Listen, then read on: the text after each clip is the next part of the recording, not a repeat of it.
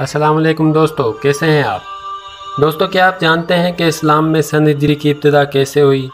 वो क्या वाक़ था कि जिसकी वजह से सन हिजरी की इब्तदा हुई? और ये कब से शुरू हुआ? तो आइए दोस्तों, आज हम इसी बारे में जानने की कोशिश करते हैं। अरबों में इस्लाम से पहले सन के लिखने का दस्तूर न था। इस्लाम से पहले बस मशहूर वाक़ात सन का हिसाब शुमार कर लेते थे। मुद्दतों कैब बिन लोई के इंतकाल से साल शुमार होता रहा। फिर आमुल फील जारी हुआ। उसकी इब्तदा इस साल से हुई जब अबराहा काबे के ढाने को हाथ ही लेकर आया। उसी मुनासिबत से उसको आमुल फील से तहबीर किया गया। फिर आमुल फुजार का रवाज हुआ। उसके बाद और मुख्तलिफ़ सन जारी हुए। सन हिजरी की इब्तदा यूँ हुई कि एक दिन सोलह हिजरी में हज़रत उमर फ़ारूक के सामने एक फरमान पेश किया गया, जिस पर सिर्फ़ शोबान का महीना लिखा हुआ था। हज़रत उमर फ़ारूक ने कहा कि ये कैसे पता चलेगा कि गुजशत शोबान मुराद है या मौजूदा?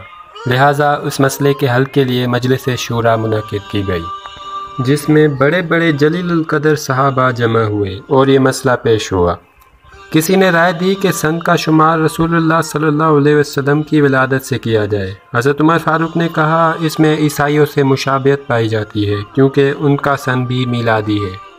किसी ने कहा कि साल का हिसाब रसूलुल्लाह सल्लल्लाहु अलैहि वसल्लम की नबूत से हो तो कोई बोला कि उसमें फ़ारसियों की तकलीद की जाए। फ़ारूक अज़म ने उन दोनों रावियों से इख्तलाफ करके इरशाद फरमाया कि यह बेहतर होगा कि सन का शुमार हिजरत रसूलुल्लाह सल्लल्लाहु अलैहि वसल्लम से किया जाए। क्योंकि इस्लाम में ये बहुत बड़ा वाक़ गुजरा है और इसी के बाद से इस्लाम की अशात हुई है।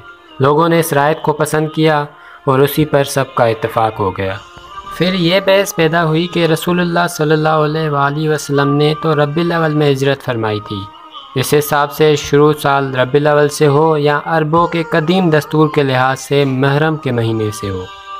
लेकिन क्योंकि अरब में साल महरम से शुरू होता था, इसलिए फ़ारूक अज़म ने दो महीने कुछ दिन छोड़कर मुहर्रम को साल का पहला महीना मुकर किया।